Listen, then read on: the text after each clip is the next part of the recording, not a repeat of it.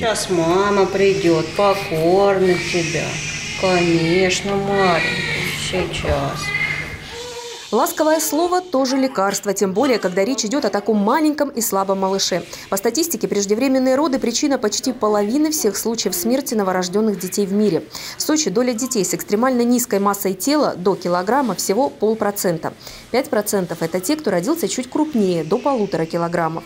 Для таких малышей создана специальная двухуровневая система выхаживания, реанимационная помощь в родильном зале, а потом отделение интенсивной терапии новорожденных. Выхаживать таких крох удается в первую очередь за счет квалифицированных специалистов. Плечо к плечу мы выхаживали этих малышей, причем работал большой коллектив, команда.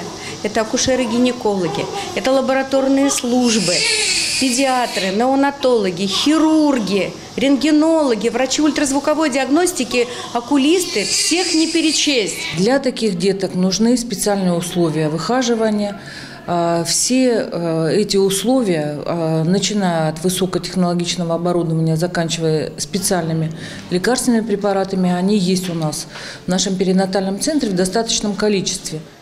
За каждым случаем и слезы, и испуг матери, но главное – радость и семейное счастье. Международный день недоношенных детей был учрежден в 2009 году по инициативе Европейского фонда по уходу за новорожденными детьми. День белых лепестков – так называют его во всем мире, подчеркивая особенную хрупкость и незащищенность таких малышей. Ежегодно врачи детской больницы совместно с общественной организацией «Лига женщин Мост добра» организуют праздник для маловесных детишек и их родителей. Президент Лиги женщин Елена Пахомова организовала для уже подросших белых лепестков яркий детский праздник.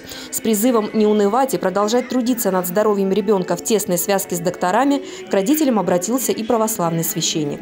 Это труд наших врачей, труд докторов. Это такой невидимый труд, это, это же ведь и освоение новых технологий медицинских, это и усовершенствование образования, да, получение ученых степеней. То есть это большой труд. Это во многом мы, конечно, благодарны здесь нашим докторам. Каждому малышу в честь такого дня подарок. В ответ тоже сюрприз. Маленькие пациенты порадовали врачей своими способностями. Кто спел, кто сплясал, другие разучили стихи. Тем самым подтвердили, белые лепестки могут стать прекрасными цветами при должном уходе и заботе. Галина Моисеева, Владимир Киселев, телекомпания ВКТ.